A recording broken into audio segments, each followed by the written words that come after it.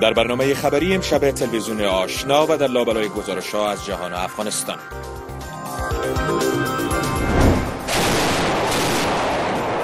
تازه ترین گزارش از ادامه عملیات محاربوی طوفان در دانگام ولایت کنر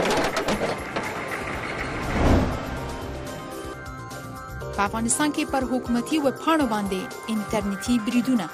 آیا افغانستان د لوی سایبري برید څخه دی؟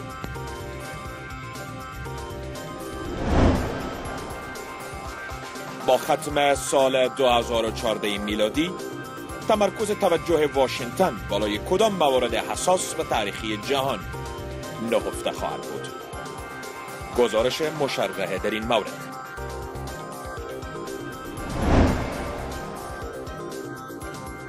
او یو شمیر افغان ځوانان د هیواد لویو ستونزو د حل لپاره زیار باسي. دا او نور د امریکا غږ آشنا تلویزیون څخه.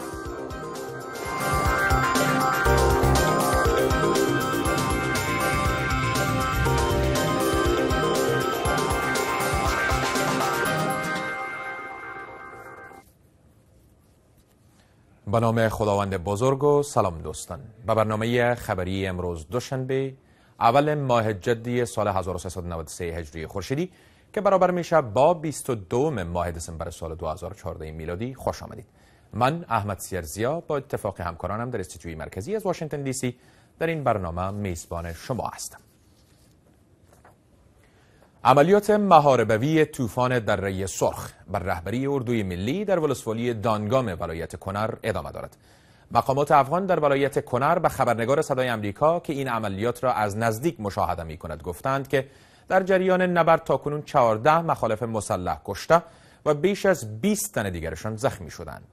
در این حال قماندان قلاردوی 201 سیلاب می‌گوید که در این عملیات 21 مخالف مسلح کشته و 33 تن دیگرشان زخمی شدند. همچنان در اعلامیه خبری قماندانی قلاردوی 201 سیلاب آمده که نیروهای افغان بیشتر مناطقی را که قبلا مخالفان مسلح تصرف کرده بودند دوباره تحت کنترل درآوردهاند. اکثر ماشومان زنانه او سپینګری بوډاګان دا ټول د جنگ په حالت کې ایثار دي څوک په غرونو کې او زنانه او ماشومان باجی په کورونو کې او نار شپې تیری او کم چې په غرونو کې دی هغه دغه شان په نارو شپو کې او د جمی په دې سخت شرایطو کې خپل شپې سبا کوي. د حیوانات غوندې حال دی. بر اساس گزارش ها در این عملیات تاکنون هفت تن از نیروهای امنیتی افغان نیز زخمی شدند. کوشش کوي بعضی اساس ځایونه نیولې دي پیش قدمي د اندازه پورې کړی ده. خو دوی و چې موږ ترڅو چې دغه سړک آزاد نکو زمونږ دغه حموي زمونږ د موټر چې اوس عسكر چې مخکې لړ شي هغه به ډوړې غواړي هغه به ضرورتونه به اکمالات به هغه په شان کیږي گفته شده که در این عملیات از تیاره های M35 و ام ابده قوای هوایی افغان نیز استفاده شده است. چادری نصار علی خان وزیر داخله پاکستان می‌گوید که حکومت آن کشور اطلاعات را در دست دارد که نشان دهنده پلان احتمالی دهشت افغانان به خاطر انجام یک حمله دیگر به پیمانه و شباهت حمله هفته پیش بالای یک مکتب در پشاور است. وزیر داخله پاکستان می‌گوید که پس از حادثه پشاور و موارد اعدام مجرمین و همچنان به خاطر ادامه عملیات نظامی در منطقه استخبارات معلومات را از حمله احتمالی دیگر به دست آورده است هشدار وزیر داخله پاکستان در حال اعلام شد که صدها پاکستانی به خاطر محکوم کردن حمله هفته گذشته بالای مر... مکتب در پشاور که در آن 148 نفر جان باخت در سراسر پاکستان راهپیمایی کردند.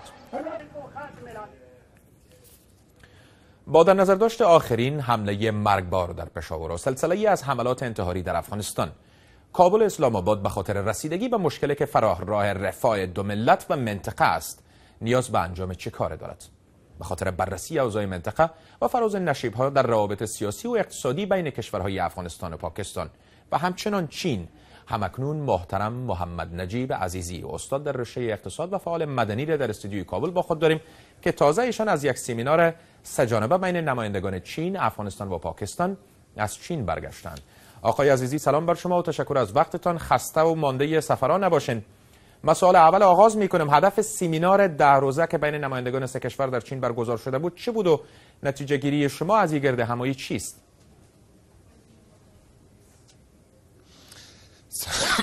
بسیار میبخشین سلام با شما و تمام بینندگان محترم. ما از طرف یک تینگ تانک چینایی که خاطر امنیت و خل سلا کار می‌کنن و یکی از تینگ تانک هایی است که از طرف حزب کمونیست چین اسپانسر میشه. دعوت شده بودیم خاطر یک سمینار سی جانبه بین افغانستان پاکستان و چین. در دو محور خصوصی ای بحثا صورت گرفت که بعد سال 2014 وضعیت وضعیت امنیتی افغانستان چطور می باشد و بالاخص افغانستان چی برنامه ها را روی دست دارد و همچنین از لحاظ اقتصادی پلان های افغانستان چی است تا ای که اقتصاد افغانستان متکی به خود شود و همچنین ما بتونیم که انکشافات بهتر داشته باشیم. از هم اولتر حکومت چین بار اول از فعالان مدنی از اکادمیا و از محققین افغانی یک بحث بسیار جالب را برپا کردن تا ای که اینا بفهمن که افغان ها چی فکر می‌کنن که مشکلاتشان با پاکستان چی است. چون روابط پاکستان و چین با هم بسیار زیاد نزدیک است. همیشه اونا از دیدگاه پاکستان اوضاع منطقه‌ای بالاخص اوضاع افغانستان زیر بحث می‌گرفتن. آقای عزیزی به یک مسئله حساسی اشاره کردین. چی فکر می‌کنید چین در این مقطع زمانی چگونه دست به چنین اقدام و تلاشه و او هم از طریق جوامع مدنی سه کشور می‌زنه انگیزه اساسی در پی کار شما چی می‌دانید؟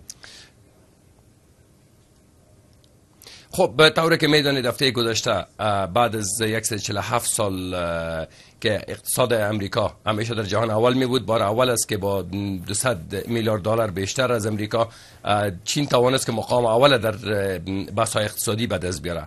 و همچنان رئیس جمهور جدید چین آقای شی طرحی که درباره قرن 21 به خاطر توسعه انکشاف چین دارد. به نهایت وسیع است که شامل راه ابریشم هم از طریق بر و هم از طریق بحر میشه که اینا نیازمند ازی هستن که در منطقه هر چقدر که بتونن نقش مهم و کلیدی در آوردن ثبات داشته باشن. به می خاطر است که اینا از طرف پاکستان مثلا آقای خورشید قصوری وزیر خارجه سابقشان بود رئیس هیئت و از طرف افغانستان ما دعوت شده بودم و همچنان اعضای هیئت داشتیم که تمامی کوشش کردیم که چند نکته را رویش بحث کنیم و چینایی هم ای را پذیرفتن.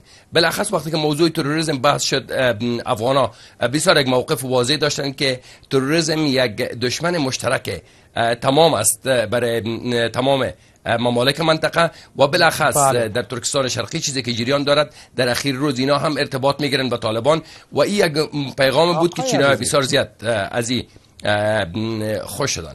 شما از تروریسم گپ زدین و از این گپ زدین که چین می‌خواهد بشنوه که افغان ها در برابر پاکستان چی طرز نظر دارد من فکر می‌کنم در گذشته ها افغان ها و تا حال نظر متفاوت از افغانستان در برابر پاکستان تا حال ابراز نشده مگری که شما چیز متفاوت تر را در اونجا بررسی کرده باشین. آیا افغان ها متقاعد ساخته تانستن چینه که چین بتونه پاکستان به خاطر تغییر پالیسیش در برابر افغانستان متقاعد بسازن یک موضوع مهمی را که ما رویش بحث کردیم که موضوع صلح و ثبات یک موضوع داخلی افغانستان است و باید که تمام ممالک منطقه و جامعه بین افغانستان در این کمک کنند. سوال چینایی هم می بود که اگر این موضوع داخلی است ما چی کرده می‌تونیم؟ جواب ما بسیار زیاد مشخص بود که چون ارتباط شما با پاکستان بسیار خوب است با پاکستانیا با تروریستا بسیار ارتباط خوب دارن. ما شما تقاضای می است که شما حکومت پاکستان و بالاخص establishment و یا فوج پاکستان به این وادار بسازین که ثباتی در هیچ صورت به نفع شما نیست و بالاخص واقعه‌ای که در مکتب Army Public School پشاور صورت گرفت. یک مثال بسیار واضحی بود که ما همیشه مکرراً به چینایا این گوشزد کردیم که آقای عزیزی تروریسم تنها مشکل افغانستان نیست بلکه این در آینده. ما به یک نکته که شما اشاره کردین خیلی حساس و جالب برام تمام شد. شما گفتین همونطوره که ما برشان گفتیم که پاکستان با تروریستا رابطه خوب دارن. چی فکر می‌کنین؟ چین که خواستار داشتن نقش بزرگتر و او هم پس از سال 2014 در افغانستان است. به نظر شما نقش چین در افغانستان چی بوده می‌تونه؟ با در نظر داشته گفته ها و یا هم نظریات افغان ها در قبال پاکستان که در منطقه و در همسایگی افغانستان حضور دارد. طوری قبلا هم تذکر دادم چین من حیث بزرگترین اقتصاد جهان می‌خواهد که این نقش خود بارستر بسازد و این امکان ندارد اگر در منطقه صلح و ثبات نمی باشد پس به همی خاطر است که افغانستان یکی از ممالکی که از لحاظ ژئوپلیتیک در موقعیت بسیار خاص است چین نمی‌تونه که ای ره نظر انداز کنه و به این اهمیت قائل نباشه. به همی خاطر است که چینایی‌ها همچنان پس شما از این سمینار سه جانبه امیدوار برگشتین با دست پر برگشتین امیدوار هستین با آینده و یا مثل گذشته. هر چیز روی یخ نوشته میشه و به آفتاب گذاشته میشه. نه خیلی. چند موضوع جالب است که باید اینجا من ذکر کنم. اول ای که بار اول است که چینایا خواستن که از خود افغان ها بشنون که مشکلاتشان با پاکستان چی است و همچنان اینا چی نقش ادا کرده می‌تونن. و بالاخص ما کامیابی از این سفر به هم می‌دونم که سه جانبه ما توافق کردیم که این مجالس خود ما متداوم می‌سازیم. تشکر تشکر. آقای عزیزی تشکر از وقت شما. انشالله صحبت ها را در آینده هم با شما ادامه خواهیم داد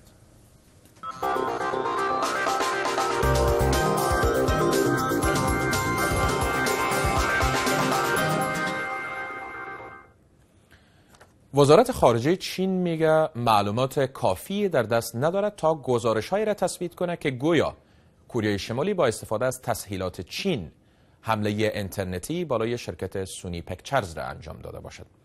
هوا چونیانگ سخنگوی وزارت خارجه چین امروز گفت که کشورش مخالف هر گونه حمله اینترنتی بوده و تا زمان دسترسی به شواهد کافی نتیجه گیری نخواهد کرد.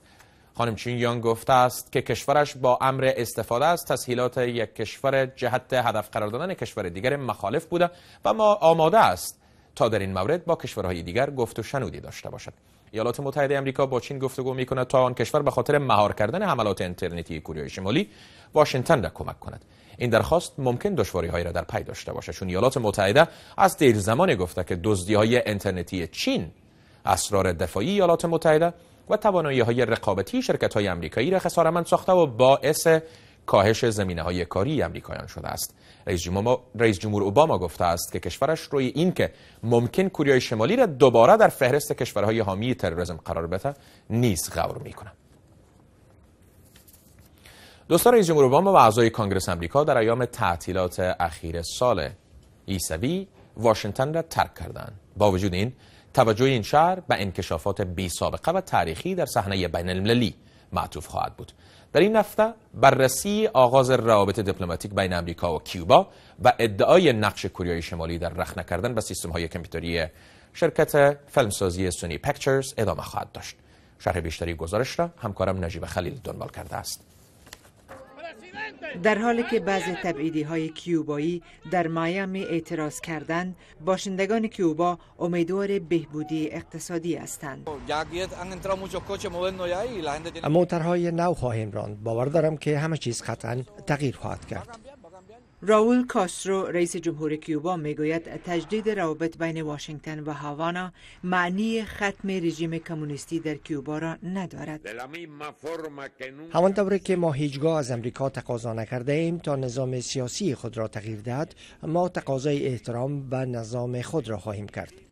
چنین اظهارات نگرانی و ترس منتقدین سرسخت رئیس جمهور اوباما مثل سناتور مارکو روبیو جمهوری خواه را تصدیق می کند. داشتن ارتباط با ذات خود آزادی های سیاسی را تضمین نمی کند. حکومت کیوبا تمام جوانب اقتصادی خود را اداره می کند. آنها در جاهایی که بتوانند اقتصادشان را رشد دهند قصد دارند که سیستم های ویتنام و چین را تعقیب کنند اما آزادی های سیاسی را انکشاف نمی‌دهند در حقیقت آن را سرکوب می کنند آخر هفته گذشته رئیس جمهور اوباما قبل از عزیمت به صوب جزیره هوایی برای سپری کردن رخصتی آخر سال از تصمیمش در مورد اثرگیری روابط با کیوبا دفاع کرد. انتظار تغییرات فوری را در کیوبا ندارم ولی عمیقا باور دارم که اگر عین کار را که در 50 سال انجام داده اید و هیچ چیزی تغییر نکرده اگر نتیجه متفاوت می خواهید باید شیوه های دیگری را در پیش گیرید. در این زمان شرکت سونی پیکچرز از تصمیم خود مبنی بر فسخ نمایش فیلمی که کیم جونگ اون رهبر کوریای شمالی را تمسخر می کند دفاع کرد.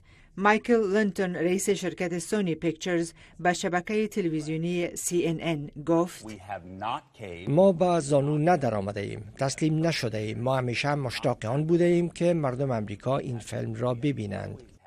واشنگتن در مورد آسیب پذیری امریکا در برابر حملات و دزدی های اینترنتی بیشتر نگران بوده است.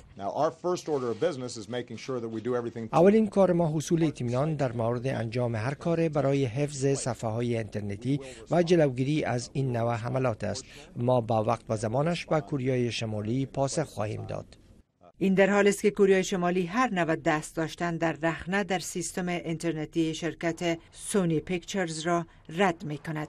نجیبه خلیل تلویزیون آشنا صدای امریکا واشنگتن افغانستان هم از پدیده حمله اینترنتی دور نمانده وزارت مخابرات و تکنولوژی معلوماتی افغانستان میگه حمله ویروسی که بر سایت های اینترنتی حکومت این کشور صورت گرفته بود دفع شده است. نصرت الله رحیمی سخنگوی این وزارت امروز در صحبت با صدای آمریکا گفت که مسئولین افغان در 20 ماه دسامبر متوجه حمله نوع از ویروس در سیستم اینترنتی شماره از ادارات حکومت افغانستان شده اما از رخنه آن در سیستم در مدت 24 ساعت جلوگیری کردند وزارت مخابرات افغانستان همچنان یافته های تحقیق یک اداره تحقیقاتی تکنولوژی معلوماتی را که مقر آن در ایالات متحده است در پیوند به این مسئله رد می کند اداره تحقیقاتی تکنولوژی معلوماتی به نام Threat Connect گفته است که در شمار از صفحات رسمی حکومت افغانستان سافتویرهای مخرب راه یافتند و حکومت این کشور هیچ گونه برنامه انتی ویروس در برابر آن را ندارد. مسئول بخش کشفی اداره تحقیقاتی Threat Connect به آژانس خبری رویترز گفته است که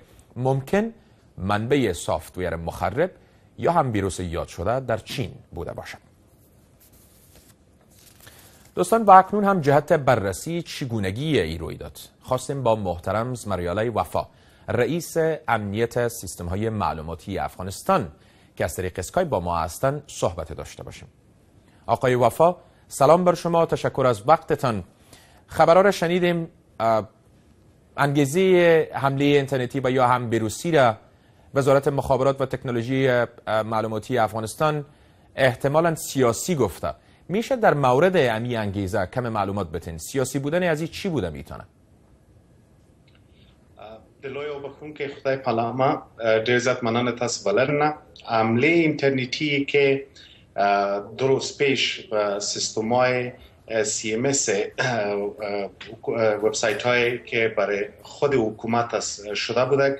در جای شک نیست که یک سکریپت یک مشکل در جاوا اسکریپت آمده بود. و انگیزه اصلی از این حمله تابانوز هم برای ما معلوم نیست. ای که ترید کنکت یک راپور تایه کرده ما که ترید کنکت هیچ نوع رابطه نداریم. عموما روابط ما که است از تمام ممالک کتسای می باشد با معذرت. ما از شما پرسیدیم که در اعلامیه وزارت مخابرات و تکنولوژی معلوماتی افغانستان آمده که انگیزه ای حمله ممکن سیاسی باشه آیا این حمله سیاسی بوده می‌تونه؟ و اگر سیاسی است چطور ممکن سیاسی بوده بتونه به خاطر که حملات اینترنتی دو هدف اساسی داشته می باشه یا اقتصادی و یا هم سیاسی. ای که کمپانی ترید کنکت مستقیما حکومت چین و حساب متهم می سازه به این عملی اینترنتی. تا حال پیش ما امی تیم تکنیکی ما که بررسی داره ما ای چیز را به اثبات نرساندیم که واقعا هم این حمله از چین صورت گرفته شما خوب چیز یادآور شدین آقای وفا. در, در گزارش خبری رویترز به نقل قبل از مسئولین ثرت کنکت آمده که دیدار رئیس اجرایی افغانستان آقای عبدالله عبدالله با صدر اعظم چین در قزاقستان. البته دو حادثه مرتبط بوده می‌دونه به خاطر از اینکه چین گویا خواستار نقش بیشتر سیاسی در افغانستان است. آیا شما این مسئله را هم رد می‌کنین؟ ما در مجموع در قسمت راپوری که نوشته کردن و پیش ما هنوز هم مجهول است که چرا به این رقم الفاظ نوشته کردن. درست؟ یک مشکل است مشکل تکنیکی در هر جای روی رخ داده می‌تونه. میگم ای به این مانا که اینا طرف جهت سیاسی به خاطر معلوم کردن همین مسئله آقای وفا که چرا روی طرز و یا هم ترید کنکت این مسئله را گفته. اونا گفتن که ممکن منبعش چین باشه که شما هم یادآور شدین. چقدر زمان بر شما نیاز است که شما پیدا بکنین منبع ویروس و یا هم حمله ویروسی در کجا بوده؟ بله ما تحقیقات خود شروع کردیم و تمام لاگ سیستم های خود ما خوانده رئیستیم شاید در حدود یک هفته الا ده روز در بر بگیره تا ما قادر به شیم که تمام لاگ یک ماه را. البته تیم بسیار کلان سر از کار می‌کنه. ما دریافت کنیم. آقای... باز ما می‌تونیم از کجا آمده خب آقای وفا فقط یک سوال اگر کوتاه جواب بدین. با این همه تغییرات بزرگ تکنولوژی معلوماتی در دنیا آیا چی فکر می‌کنین؟ سیستم های ایمنی یا محافظتی افغانستان در برابر چنین حملات تا چه حد مستحکم است و تا چه حد می‌تونه افغان ها از ترسی پدیده آرام باشه شما تضمین دارین برای این مسئله؟ در هیچ گوشه دنیا کسی صد فیصد تضمین دادن نمی‌تونه یگانه تضمینی که ما می‌خواهیم به تمام شهرونده و به تمام کسانی که به اینترنت دسترسی دارند در داخل افغانستان ای خواد بوده که ما 99 فیصد سیستم ما مصون است. اما حملات میشه در هر جای میشه. شرکت سونی رمیال شما خبرش تیر کردین. ببینین با او بودجه کافی که اینا در دست دارن با وجود از هم سیستم از اونا compromise شده و از یک طریق ناتانستن که داخل سیستمشان برن. آقای وفا همکارم شایسته سعادت لامی در بخش پشتو هم با شما صحبت خود داشتن. انشالله صحبت ها را در برنامه پشتو هم با شما ادامه میدیم. تشکر. در این حال کوریای جنوبی میگه که کامپیوترهای مربوط به پایگاه انرژی هسته‌ای کشور هم هک شدند.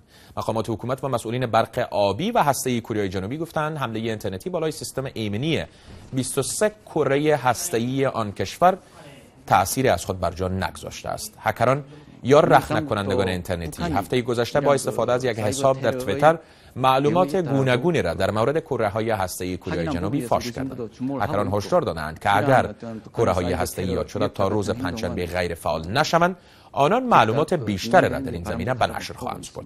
این حمله اینترنتی بالای سیستم انرژی کره جنوبی در حال صورت می‌گیرد که نگرانی ها از حمله احتمالی اینترنتی توسط کره شمالی بالای تاسیسات صنعتی و اجتماعی نیز موجود است. ایالات متحده آمریکا تکرار می‌کنم که کوریای شمالی را عامل حمله اینترنتی بر سیستم های سونی پکچرز مشخص کرده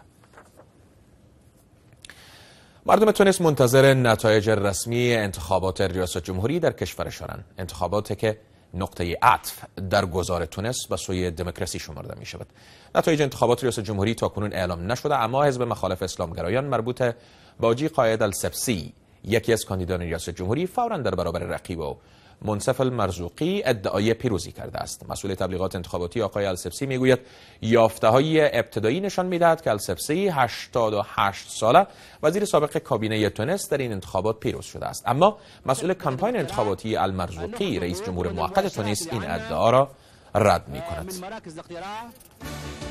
تلویزیون آشنا دریچه شما و سوی جهان. نه تنها در صفحه تلویزیون بلکه در صفحه اختصاصی فیسبوک تلویزیون آشنا.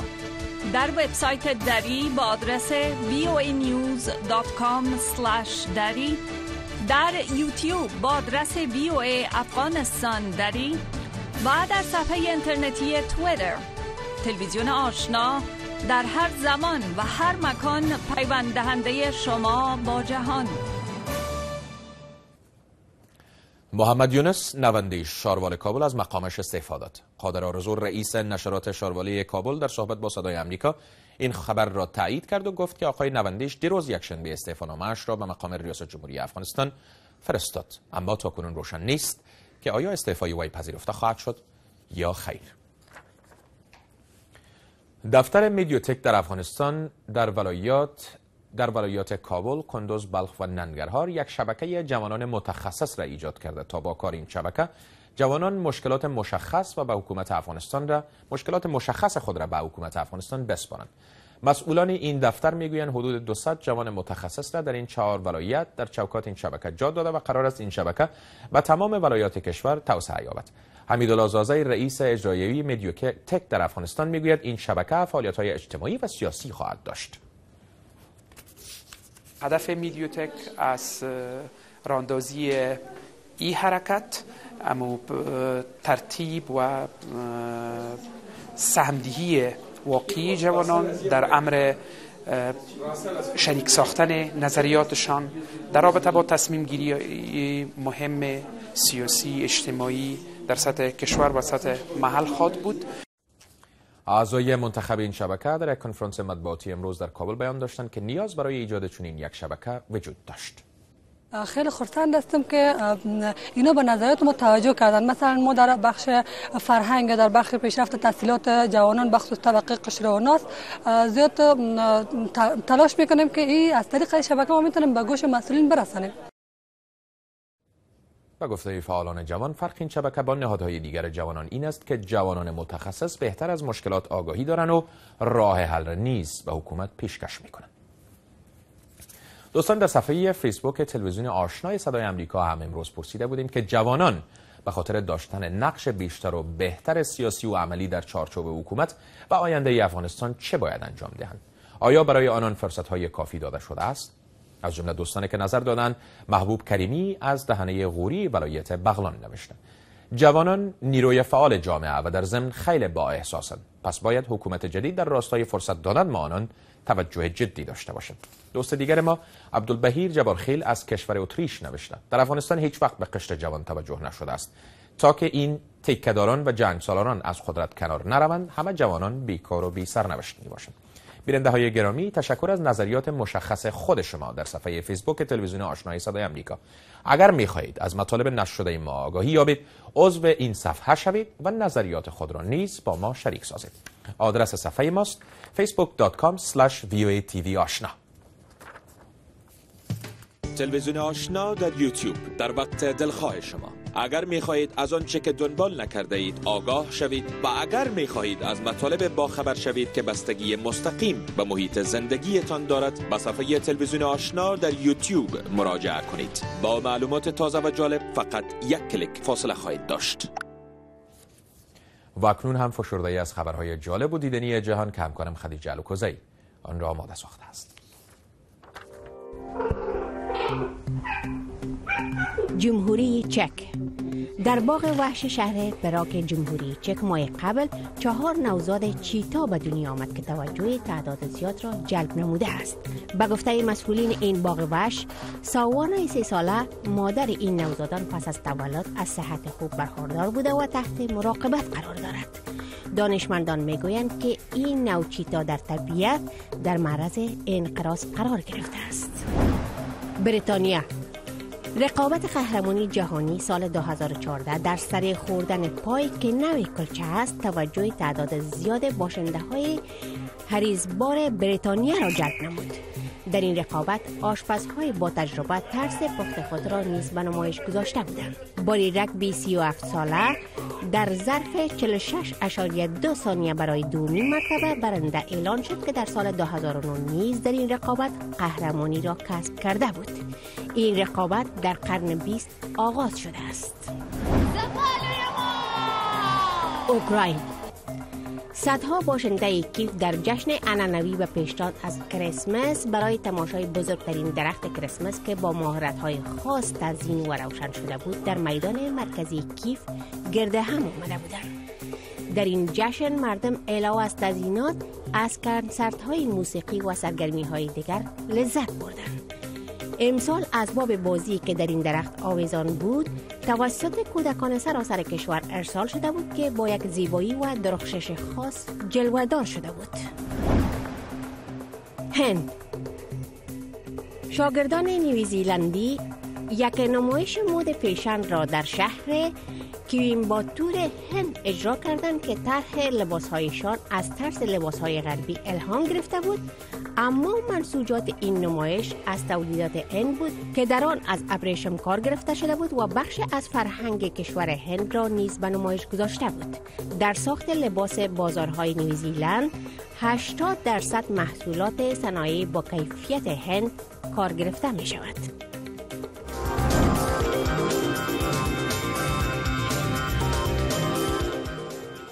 این بود داشته های امروز ما در بخش دری تلویزیون آشنا صدای امریکا. همکارم شایسته سعادت لامی با تازه ترین خبرها و گزارش ها در بخش پشتو با شما خواهد بود.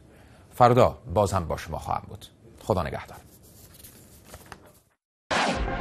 ټول د حقیقت په لټه کې دي.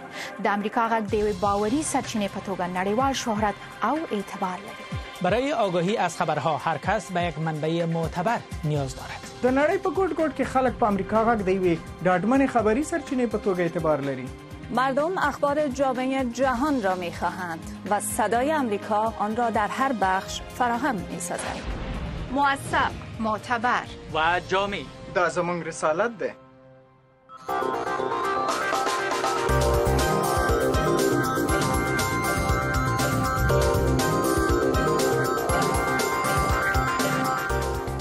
په افغانستان کې بعد د کونړ په دانګام کې